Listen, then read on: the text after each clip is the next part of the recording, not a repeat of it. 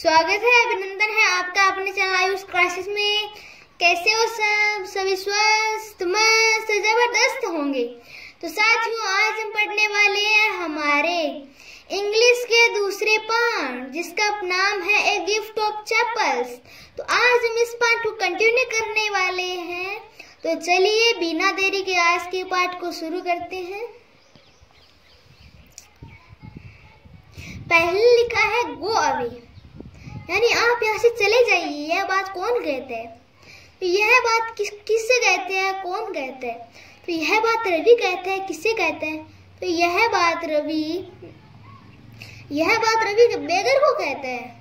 बेगर को कहते हैं गो अवे यानी आप यहाँ से चले जाइए। माई पाती से, यानी मेरी पाती कहती है। It is time you found another house to beg from यानी अब यह समय हो गया है आपको दूसरे घर से भिक्षा लेने के लिए। बेग का अर्थ हो गया भिक्षा। The beggar open his eyes, यानी पहले तो वह एकदम आराम से ऐसे आँखें बंद कर रहा था, फिर उसने आँखें खोली। And with open eyes and very wide and gazed at each of the children one by one यानी उसने अपनी आँखें खोली, पहले पहले आँखें बंद थी, उसने अपनी आँखें खोली और एक एक चिल्ड्रन को घूर घूर कर देखा यानी इसे देखा यह कौन है? उसे घूर घूर कर देखा। The ladies of the his house उसने यह बात वीक वॉइस में, यानी आवाज़, कमज़ोर आवाज़ में उसने कहा, रोने किसी आवाज़ में कहा the ladies of this house are very kind soul kind का अर्थ हो गया दयालु। सोल का अर्थ हो गया आत्मा। इस घर की जो महिलाएँ हैं, वह बहुत काइंड है, वह बहुत दयालु आत्मा है। I have kept my body and soul together kept my body और सोल टुगेदर का अर्थ हो गया ज़िंदा रहना। यानी मैं उन्हीं के कारण ज़िंदा रहा हूँ पिछले एक हफ़्ते से। पहले हमने पढ़ा था कि जो बाती है वह तापी के साथ बातें कर रही की थी कि यह पिछले एक महीने से यहाँ पे आ रहा है। तो ये उसने बताया था।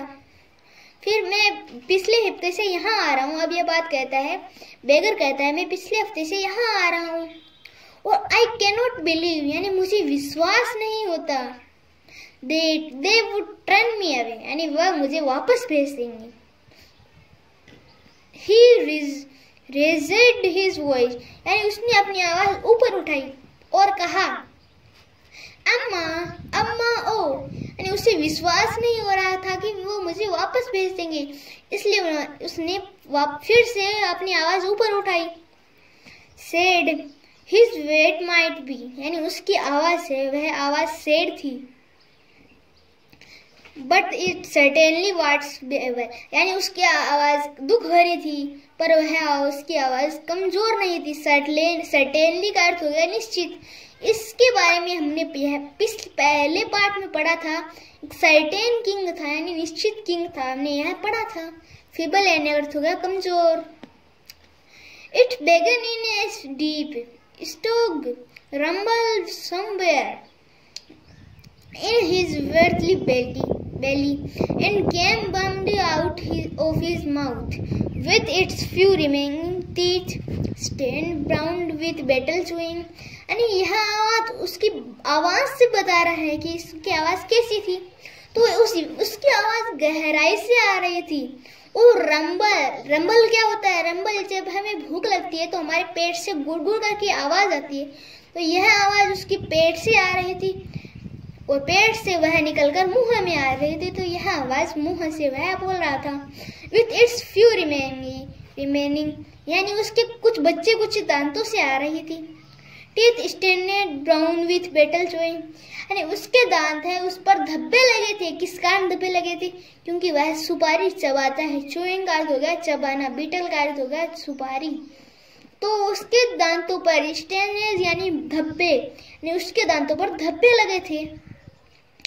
Ravi tell him there is nothing left in the kitchen Ravi आप उसे कह दो घर के किचन में कुछ नहीं बता। यह बात कौन कहता? तो यह बात रुकुमनी कह रही है कि रवि आप उसे कह दीजिए कि यहाँ घर में खाने के लिए कुछ नहीं बचा है। कोल्ड रुकुमनी, यानी रुकुमनी कहती है। And he not to come again tell Ravi him यानी अब उसे कह दो। उसे कह दो कि वह दोबारा यहाँ नहीं आए।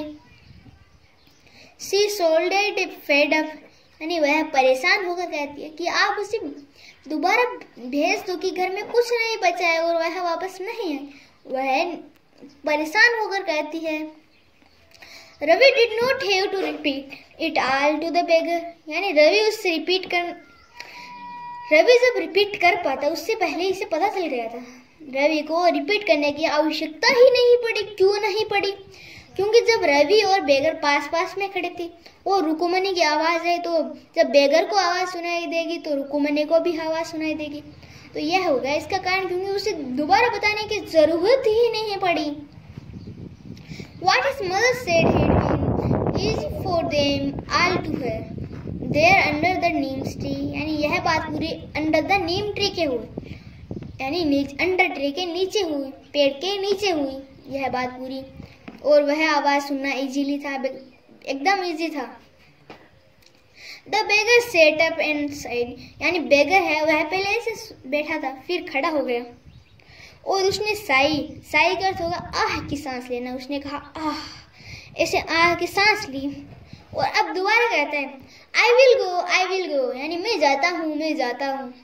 ही सेट वेयरली वेयरली का अर्थ हो गया टायर्डली टायर्डली हमने सिक्स क्लास में पहले चैप्टर में पढ़ा था. टायर्डली का अर्थ होगा थका हुआ, यानी उसकी आवाज़ I will go I will go ऐसे वह बात करता है. Only let me have a rest here under this tree यानी मुझे सिर्फ़, मैं जाता हूँ, मैं जाता हूँ. मुझे सिर्फ़ इस पेड़ के नीचे आराम करने दो. The sun is so hot यानी जो सूर्य है, जो सन है, वह बहुत गर्म है and the tar has melted on the road tar क्या होता है?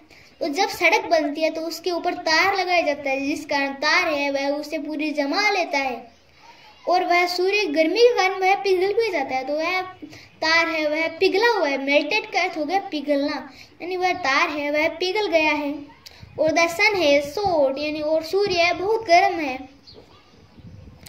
My feet are already blisters यानी मेरे पाँव हैं, वह ऑलरेडी ब्लिस्टर यानी यहाँ पे फीट का अर्थ हो गया फीट का सिंगुलर हो गया फुट फीट है, वह दो पाँव के बीच की बात है और फुट हो गया, एक पाँव के बीच की बात यानी मेरे पाँव है, वह ऑलरेडी ब्लिस्टर्ड यानी मेरे पाँव पर ऑलरेडी धब्बे लगे हैं।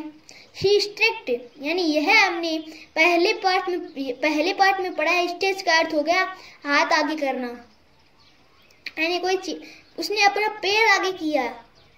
स्टेज का अर्थ हो गया आगे करना, ये हमने पढ़ा था पहले पहले चैप्टर में जिसका नाम है थ्री क्वेश्चन। तो इसमें हमने पढ़ा था कि राज हरमिट ने अपना हाथ स्ट्रेच किया, यानी आगे किया फाउंडा लेने के लिए, यानी स्पीड लेने के लिए उसका, उसने अपना हाथ आगे किया। Stretch out his feet to so large a pink feeling blisters on the soles of here bare feet यानी उसने अपना पाँव आगे किया और वहाँ पर उसने अपना पाँव आगे किया तो वहाँ पे उसके पैर पे पिंक कलर के धब्बे हैं। पिंक कलर के धब्बे हैं और उसके पास बेर फिट यानी नंगे बेर का अर्थ हो गया, नंगे फिट का अर्थ हो गया। पाँव, यानी उसके पास चप्पल नहीं है। अब मृदु कहती है I suppose she does not have the money to buy chappals मृदु यहाँ पे आवाज़, धीरे ऐसी आवाज़ में कहती है, मीना और रवि को, कि मुझे लगता है इनके पास पैसे नहीं होंगे. तो विस्पर, यानी मृदु, धीरे से कहती है। मृदु धीरे से कहती है, Have you got an old pair in the house somewhere? क्या आपको पता है इस घर में?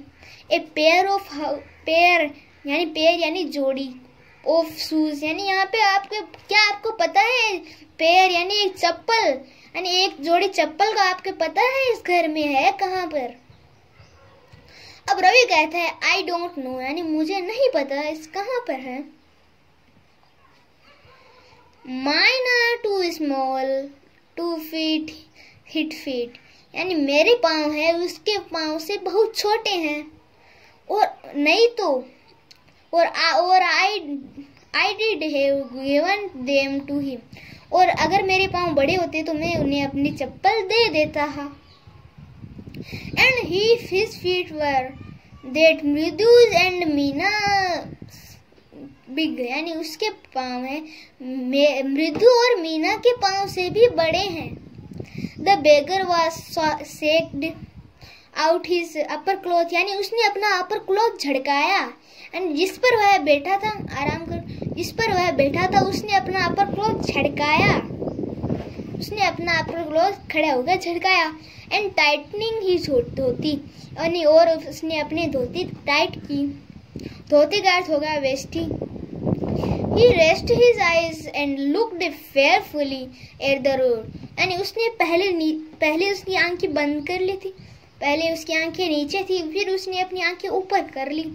और लुक, लुकड फेयरफुली, यानी उसने देखा फेयरफुली। फेयरफुली का अर्थ हो गया डर की भावना से। यानी उसने डरा डरा से कहा। उसके डरा डरा से देखा उसने रोड की तरफ़। Gleamed in the afternoon heat, यानी वह जो तार है, वह आफ्टरनून हीट से चमक रहा था। ग्लिम्ड का अर्थ हो गया साइन, यानी चमक। तो वह चमक रहा था। तो आज के वीडियो में हम इतना ही पढ़ेंगे। मिलते हैं हमारे अगले वीडियो में। तब तक के लिए जय हिंद, जय भारत।